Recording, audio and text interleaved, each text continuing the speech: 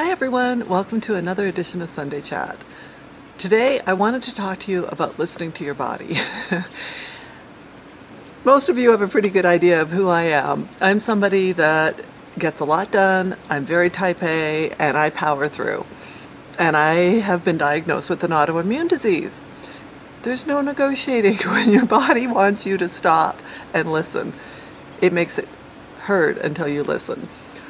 And I have had to learn to listen to my body lately, and I wanted to talk to you about that and encourage you from somebody who is a type A personality, from somebody who's not used to having to listen to their body and just powers through and gets done what I need to do and I can stop later.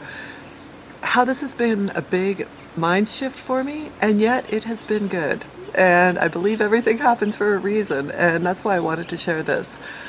There are days when I have energy and I appreciate them and they are amazing. And like today, it's fabulous.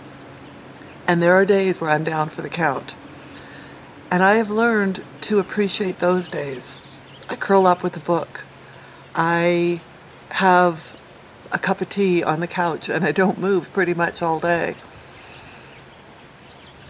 The challenge is you don't get to pick when those days come. They tell you.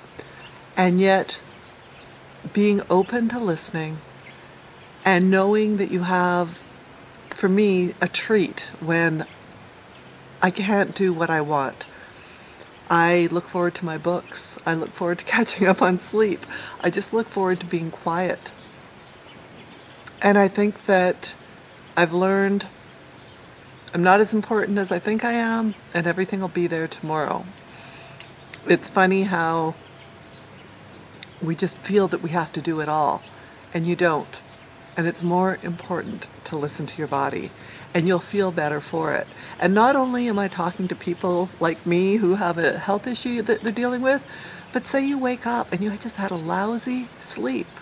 If you try to power through and go to the gym and do a million things, chances are you aren't going to get very much done and it's certainly not going to be as good as if you left it all for the next day and rearranged your schedule and just cocooned that day. So, no matter what is going on, I would like to challenge you listen to your body and be loving and patient with yourself. Take advantage of the great days and know that the quieter days are there for a reason and try to enjoy those.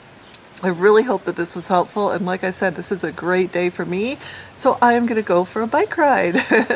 I hope that you are having a really good day. And for all of those many wonderful people who've told me that you're suffering from similar things to me, some type of autoimmune, I wish you more good days than bad. Because I think that that is the key. And knowing how to balance those out when you do have the bad is also good. So I hope this was helpful and we'll talk to you next time.